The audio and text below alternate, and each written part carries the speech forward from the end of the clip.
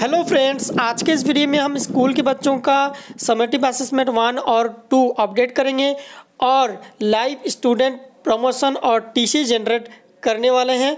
तो चलिए दोस्तों स्टार्ट कर लेते हैं आज का वीडियो इसके लिए सबसे पहले मैं क्रोम ब्राउज़र ओपन कर लेता हूँ और क्रोम ब्राउज़र ओपन कर लेने के बाद में दोस्तों हमें यहाँ पर सर्च कर लेना होगा। OSEPA dot Odisha dot G O V dot in तो दोस्तों, वीडियो में आगे बढ़ने से पहले आपसे रिक्वेस्ट है, अगर चैनल पर पहली बार आ रहे हैं तो चैनल को सब्सक्राइब करके बेल आइकन ज़रूर प्रेस करें। हम हर तरह के लेटेस्ट टेक्निकल ऑटोमोबाइल से रिलेटेड वीडियो जो है अपलोड करते हैं। तो इस वेबसाइट पे जाने के बाद में आपको होम पेज कुछ इस तरह का नज़र आएगा। और यहाँ पे आपको धीरे से नीचे स्क्रॉल डाउन करना है। स्क्रॉल डाउन करने के बाद में आपको वहाँ पे एक्सटेंडेड एमआईएस का एक बटन नज़र आएगा। वहाँ पे आपको क्लिक कर देना है। यहाँ पे क्लिक कर देने के बाद में दोस्तों आपके सामने नेक्स्ट पेज कुछ इस तरह का नज़र आएगा।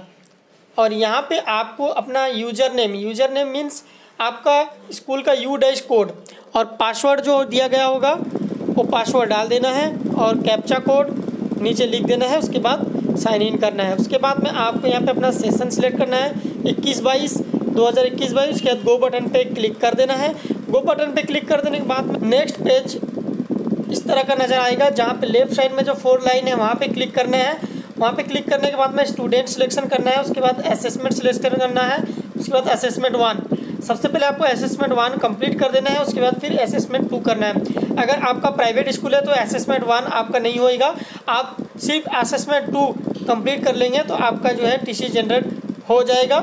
तो दोस्तों, चलिए अब असेसमेंट वन पे मैं क्लिक कर दिया हूँ पेज थोड़ा स्लो रहता है। उसके बाद में असेसमेंट वन वाला पेज आ गया है। जहाँ पे दोस्तों आपको अपने क्लास के सारे बच्चों का जो लिस्ट है यहाँ पे नज़र आएगा, आप यहाँ पे क्लास सिलेक्शन कर सकते हैं। तो मैं पाँच क्लास सिलेक्ट कर लेता हूँ क्लास फाइव तो यहाँ पे दोस्तों आपको अपने सारे बच्चों का नाम और डिटेल्स जो यहाँ पे लिखा हुआ नज़र आएगा। तो यहाँ पे कोई भी बच्चों का नाम सिलेक्ट करके उसमें जो मार्क है सब में ज़ीरो ज़ीरो लिखना है। ज़ीरो ज़ीरो मार्क जो मैं यहाँ पे चढ़ा दे रहा हूँ, आप देख सकते हैं। मार्क यहाँ पे ज़ीरो ज़ीरो लिख देता हूँ।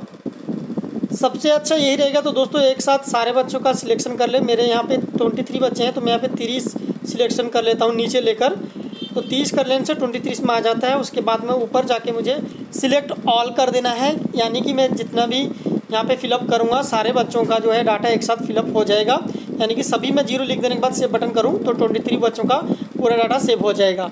सेव बटन पे क्लिक करने के बाद में आपको कंफर्म करना है। कंफर्म करने के बाद ऊपर आप देख सकते हैं, ये सारा डाटा जो है सेव हो चुका है। यानी कि सबमेटिव असेसमेंट वन जो है, हमारे क्लास फाइव का सब हो चुका है। उसके बाद फिर से हमें क्या करना है? स्टूडेंट सिलेक्शन करना है। ऊपर जो फोर लाइन है स्टूडेंट सिलेक्शन कर लेने के बाद में दोस्तों हमें असेसमेंट पे जाना है असेसमेंट जाने के बाद में असेसमेंट टू पे आना है।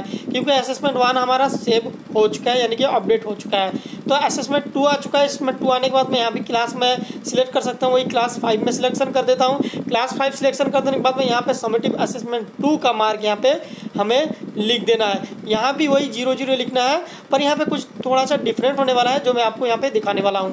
दोस्तों, इसमें भी मैंने सारे बच्चों का डाटा एक साथ भरना है तो एक साथ मैं तीस सिलेक्ट कर चुका हूँ। उसके बाद सिलेक्ट ऑल ऊपर कर चुका हूँ, आप ऑलरेडी देखे हैं।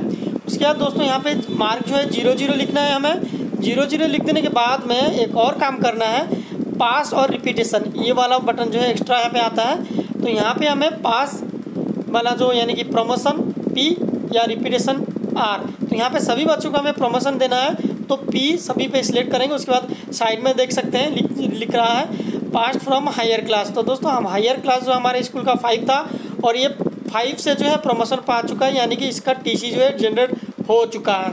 तो दोस्तों, यहाँ पे सारा डाटा फिलअप करने के बाद सेव पे क्लिक करना है उसके बाद कन्फर्म कर देना है यानी आपका सारा डाटा सेव हो गया। है और यहाँ पे हम टीसी जो जनरेट हुआ है टीसी नंबर हम कैसे लेंगे, ये भी आपको मैं बताने वाला हूँ। तो दोस्तों, फिर से फोर लाइन पे क्लिक करना है स्टूडेंट पे क्लिक करना है। इस बार जो है आपको ट्रांसफ़र पे क्लिक करना होगा। ट्रांसफ़र पे क्लिक कर देने के बाद में व्यू टीसी जो है, वहाँ पे क्लिक कर देना है। तो यहाँ पे व्यू टीसी पे क्लिक कर देने के बाद में नीचे आप देख सकते हैं अपने पाँच क्लास के सारे बच्चे जो प्रमोशन पा चुके हैं, उनका डाटा यहाँ पे नज़र आएगा और यहाँ पे टीसी नंबर एक नज़र आता है और साथ में एक पी फ़ाइल भी होता है जिससे आप डाउनलोड कर सकते हैं, जिसमें उसका टीसी जो है ट्रांसफ़र सर्टिफिकेट उसमें मौजूद होगा। तो मैं ऑलरेडी यहाँ पे डाउनलोड कर रहा हूँ। डाउनलोड कर देने के बाद मैं इसको मैं खोल के आपको दिखा दे रहा हूँ। सबसे ऊपर स्कूल लिविंग सर्टिफिकेट लिखा हुआ नज़र आता है। इसमें बच्चों का सारा डाटा और साथ में टीसी नंबर भी लिखा हुआ होता है। तो हम जो सर्टिफिकेट पर ऑफलाइन में हम जो लिख रहे हैं, सर्टिफिकेट उसमें ये टीसी नंबर जो है हमें डालना होता है। तो उम्मीद है आपको वीडियो पसंद आया होगा। लाइक एंड शेयर करें। Thanks for watching